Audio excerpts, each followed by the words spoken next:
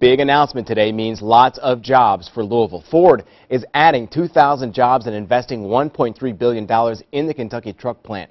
Mark Vanderhoff was at the plant on Chamberlain Lane for the announcement. He's live there now. Mark, when do they start hiring is the big question. Well, Colin, they uh, say that these jobs and these upgrades are needed for the 2017 Super Duty trucks, so it shouldn't be too long.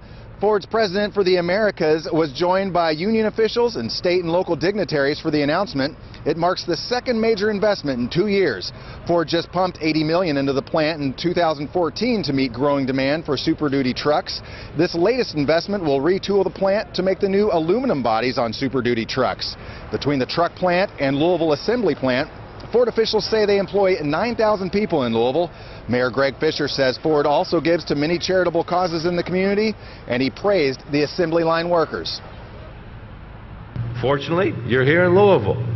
And fortunately, the folks in Detroit are smart enough to know to invest more here in Louisville.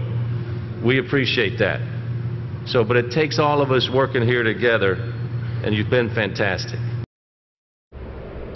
And officials say this announcement isn't good just for people here at this plant. They say that there are an additional 80,000 jobs created by these Ford plants here in Louisville.